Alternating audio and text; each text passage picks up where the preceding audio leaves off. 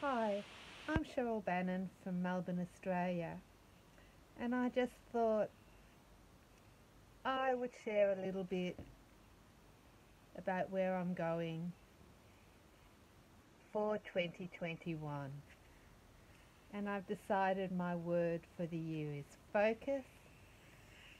And I'm finding that I'm really curious and interested in the idea of circles and the playful way that they connect to our world. All my art is about those layered connections and links to the stories and that make up our lives. I really do believe in that idea that we we live storied lives and that everything is layered understanding. I find that I really do have a love of circles. They fascinate me and I really like playing with the possibilities and openings they create. So right now I'm just seeing where it all goes and allowing whatever happens through the layers to actually open me up to new ideas. Now, I really don't see an artwork as ever truly being complete. It's all about the way the stories, the different stories begin to shape and fit together and that everything is interconnected. And even doing this video is about me sitting and thinking and feeling my way into what I want for my art in 2021. I feel like there are so many new opening spaces and that somehow the story and the changes that have happened are able to evolve in new ways as we enter into this new year.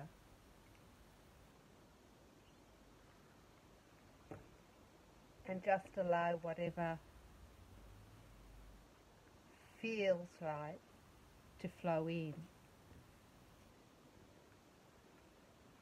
It's been challenging without um, the connections of normal life this year for all of us.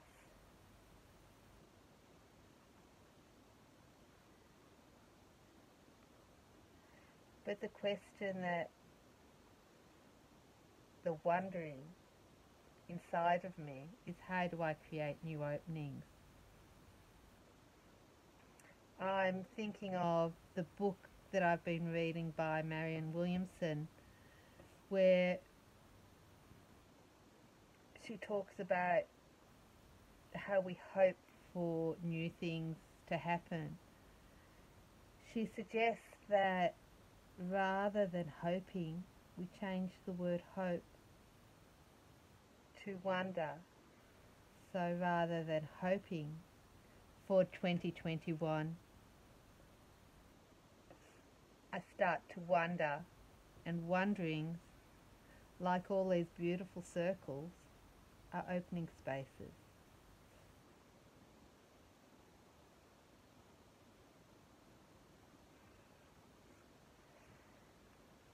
No.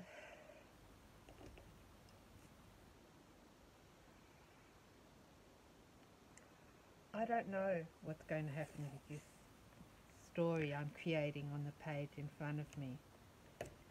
And I doubt I'll finish it as I sit here. In fact, I'll probably end up doing part of this as a fast forward.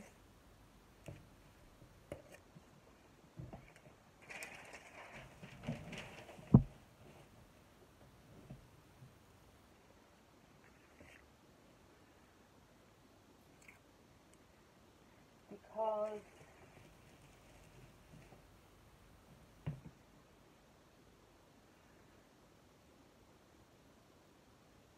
circles are about all those questions that we keep asking ourselves. If you were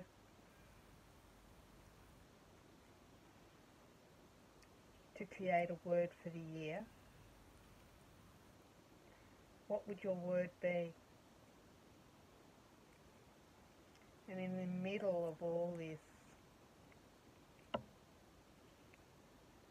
busyness of wanting to achieve, somehow the colours are an invitation to something new.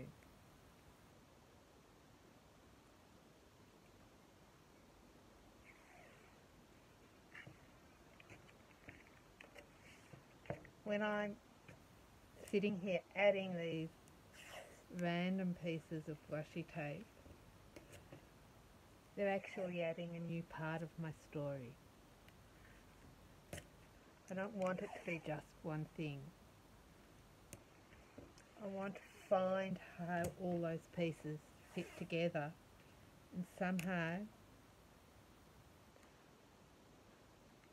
a circle is a perfect way of fitting a story together.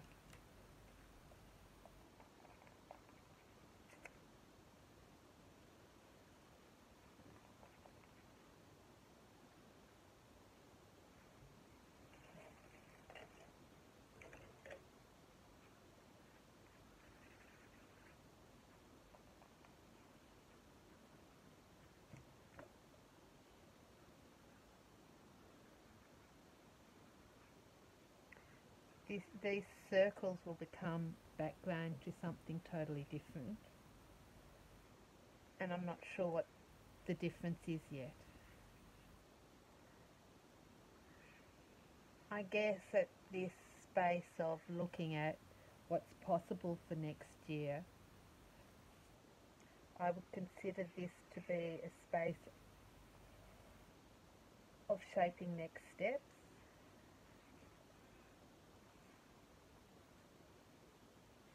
the moment I'm limiting my colours.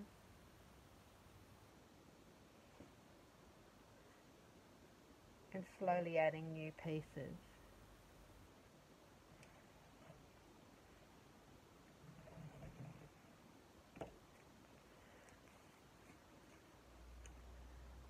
I did start with watercolour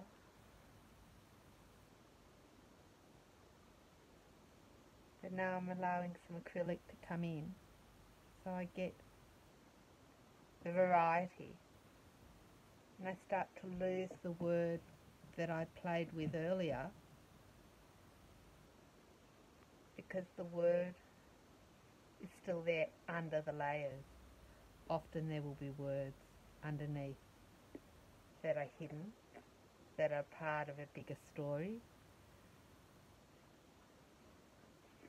Think of, of circles as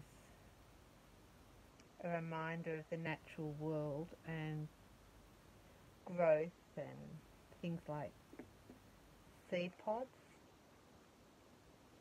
There's something quite beautiful in the idea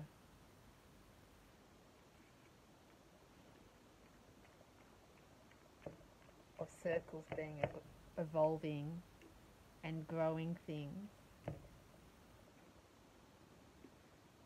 And as I build up my marks, I'm really looking at how I can create something different, something new, because I love learning and I love the idea that these spaces I'm creating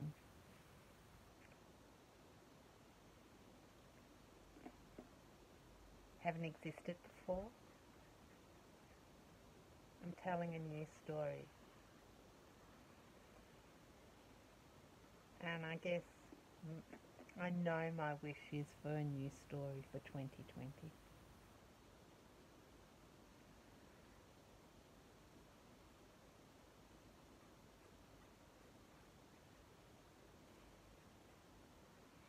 Art is a way letting us dream into something new.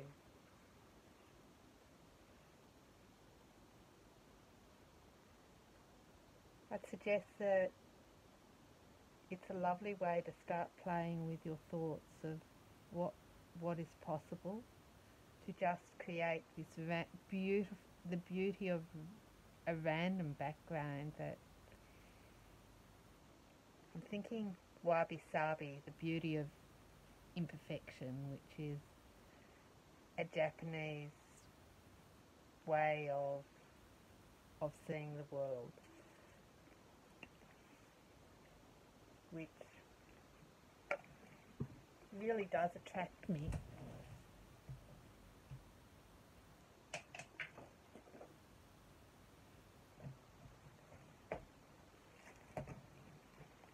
Looking for the next colour.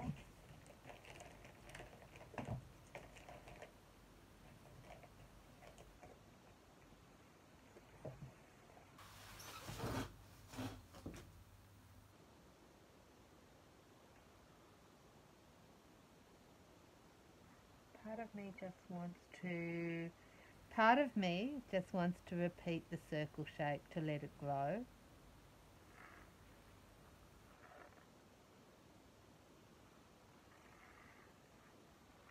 And I know that whatever I do, there isn't just one single focus.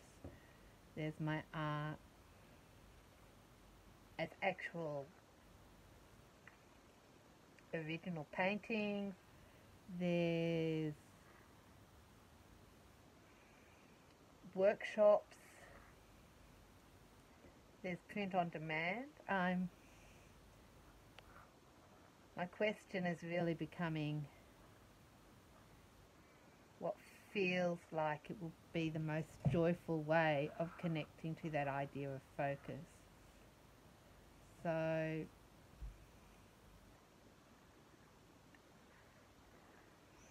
I'm looking at three ideas that I can play with.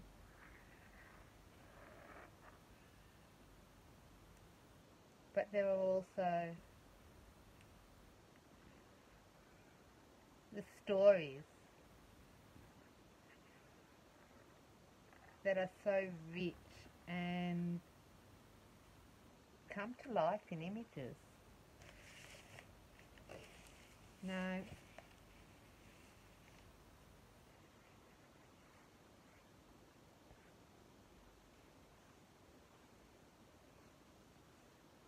I know I'm talking about circles, but the reality is, for me, I really want to stay within the space.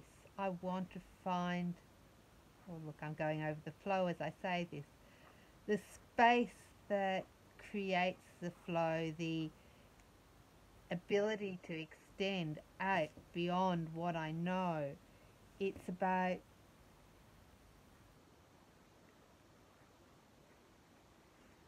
finding me in all the things, all the shapes, all the colours, all the openings, and saying, okay, what is the story in these circles? And what is the difference in the spaces I'm creating? Why do I need all these layers? What what makes the layers so important?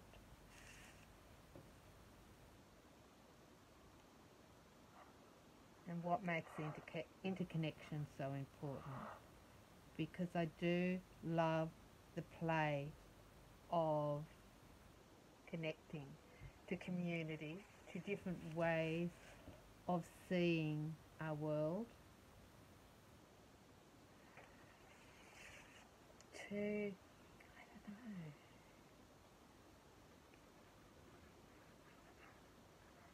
to the, oops, that's better, playful,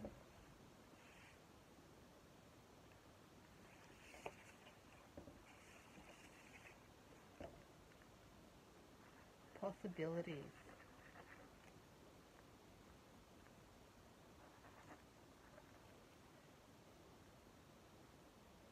I do enjoy the possibilities to go beyond something solid and fixed. I actually love the journey. I wonder what it is in an image, in an artwork that you love, what artworks are in your world, and what the stories are that connect you to those pieces.